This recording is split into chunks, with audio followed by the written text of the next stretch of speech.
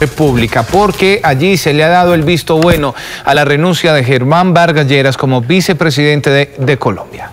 El legislativo le dio vía libre para que pueda ser candidato presidencial en 2018. Justamente José Polanco nos tiene las reacciones. José, cuéntenos adelante. Hola, muy buenas noches. En un comunicado, el saliente vicepresidente Gemar Vargalleras manifestó que renunció por prevención. Veamos qué fue lo que dijo. A través de este comunicado, el hoy ex vicepresidente de la República, Germán Vargalleras, aseguró que no sabe si será candidato a la presidencia en los comicios de 2018. Aunque no he decidido todavía si participaré del próximo debate electoral, en cumplimiento de la nueva norma presenté mi renuncia para no quedar inhabilitado si así lo hiciere. Lleras agradeció al gobierno nacional por el apoyo como funcionario público, pero criticó la inhabilidad impuesta en la reforma de equilibrio de poderes.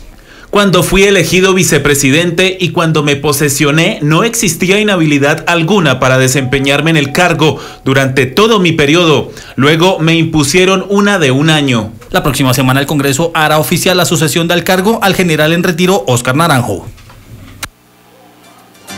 Por otro lado, esto fue lo que se vivió durante la votación de la carta de renuncia del vicepresidente Germán Vargas Lleras.